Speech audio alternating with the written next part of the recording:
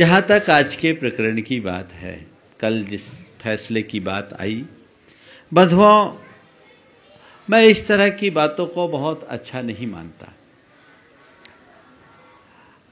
कुछ लोगों ने मुझसे कहा, महाराज, अपन जीत गए। हमने कहा, कौन जीता, कौन हारा? यहाँ कोई जीता नहीं, न कोई हारा, न तो किसी की जीत हुई। न किसी की हार हुई, जीत हार भले किसी पक्ष की हुई है, पर इस तरह की घटनाओं से तो समाज हारती है।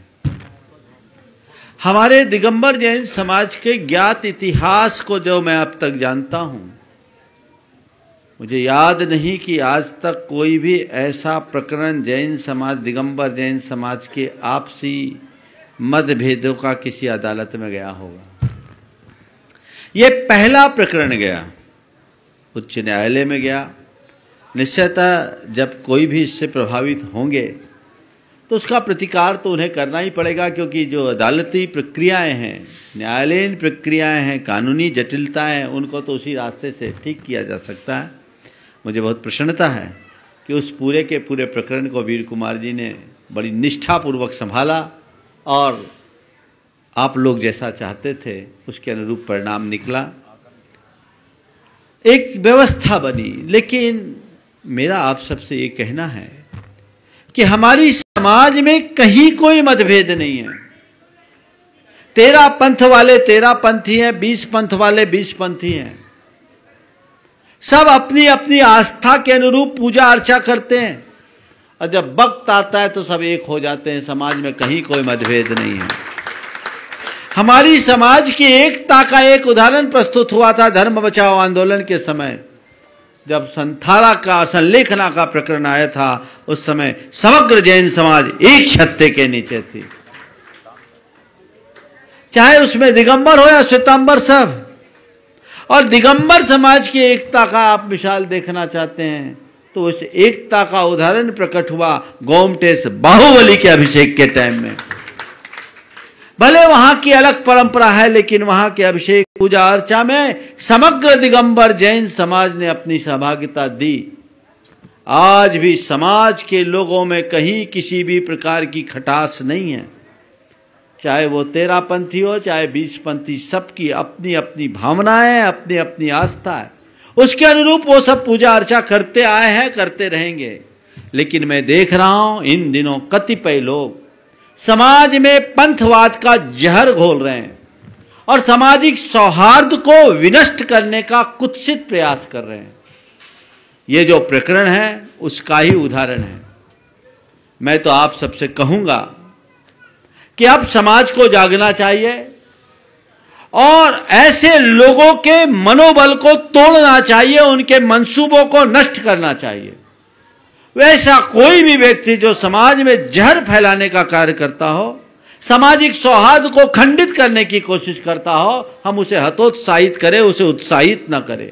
चंद लोगों ने एक कृत्य किया होगा। लेकिन आज पूरी जैन समाज इस बात को लेकर के चिंतित हो गई थी। सबकी अपनी आस्थाएँ थी और ये प्रक्रियाएँ हैं। मैं नहीं चाहता कि आने वाले दिनों में कोई ऐसा प्रकरण आए और फिर कोई अदालत के दरवाजे को खटखटाए।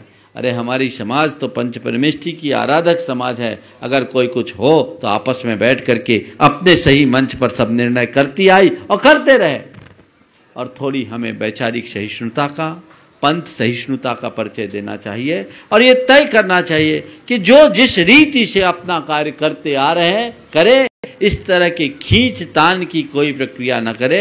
इसलिए मैं समाज को संदेश देना चाहता हूँ। आज के संदर्भ में इसे न जीत के रूप में देखें, न हार के रूप में देखें।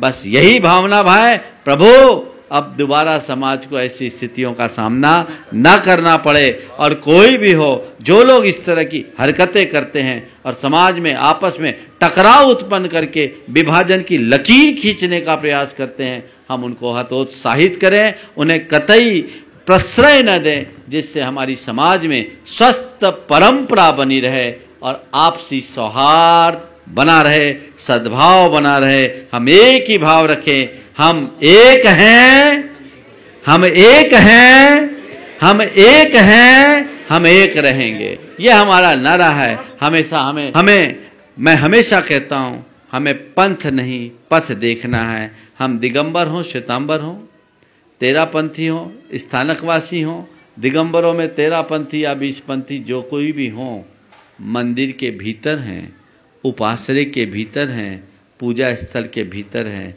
बाहर आए तो हम सब जैन हैं। ये आवाज़ हमारी होनी चाहिए। ये नारा हमारा होना चाहिए। और इसी ध्येय को लेकर आगे चलेंगे तो हमारा काम होगा। ये ज़ाहिर है, जब अलग अलग परंपराएँ हैं, सबकी अलग अलग मान्यताएँ हैं तो जो जिस मान्यता को पर विश्वास रखता है, वो उसकी आस्था का सवाल है, वो अपनी आस्था के अनुरूप जिए, पर दूसरों की आस्था के साथ छेड़खानी करने का कोई प्रयास न करे, इसी में समाज का भला है। इसलिए मैं यही कहूँगा, सबको सन्मति दे भगवान।